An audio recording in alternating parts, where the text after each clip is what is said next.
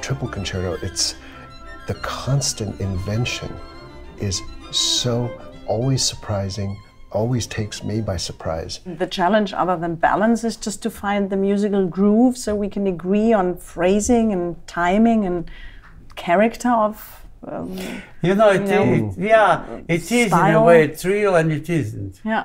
because there is more independence between our three instruments than in the trio. Mm-hmm. Yes. In the trio, we all trying Merge to get closer merged, together, To, to yeah. merge.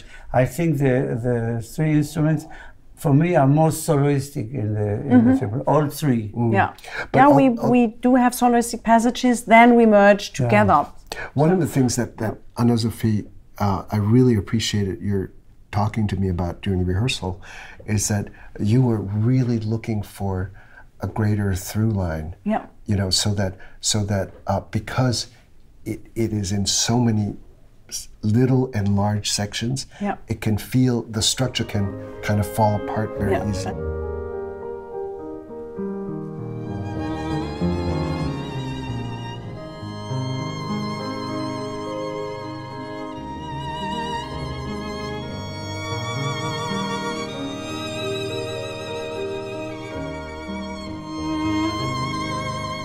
The orchestra has a different role, I think, in the triple than in the violin concerto or the piano concerto. This one is really for piano, violin, cello, and orchestra.